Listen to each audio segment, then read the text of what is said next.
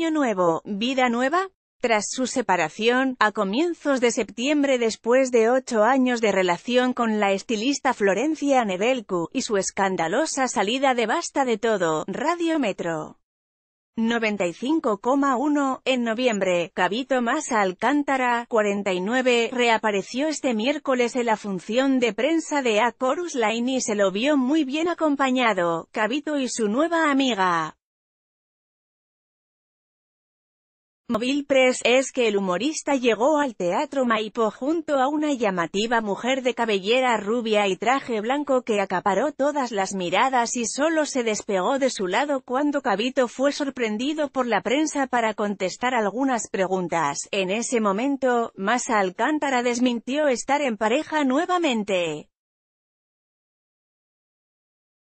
Es una amiga nada más. No estoy de novio. No voy a estarlo. Gracias por preguntar, le dijo al portal Ciudad Magazine.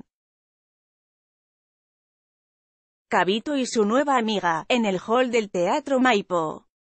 Móvil Press, en tanto, según pudo constatar Clarín, el ex co-conductor de Basta de Todo no tuvo ningún gesto de amor ni cariño con su acompañante, quien se sentó a su lado en la tercera fila de la platea central, a la presentación del nuevo musical dirigido por Ricky Pascus y producido por Javier Farón y también asistieron Aníbal Pachano, Laura Fidalgo, Luz Cipriota, Arturo Pucci, Selva Alemán, José María Muscari, Lourdes Sánchez, Miguel Ángel Solá y Paula Cancio, Carla Conte y Patricia Villano. También le sacaron fotos cuando se sentaron en la tercera fila de la platea.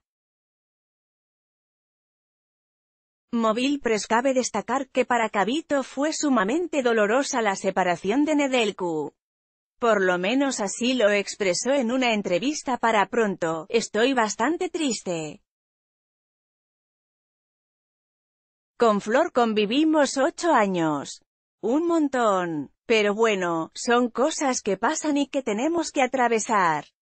Es definitivo y el tiempo vence todas las batallas, dijo en esa nota. Además, sobre la posibilidad de volver a enamorarse dijo, no, para mí, en esta vida el amor ya pasó. No estoy para retomarlo. Realmente no estoy para eso.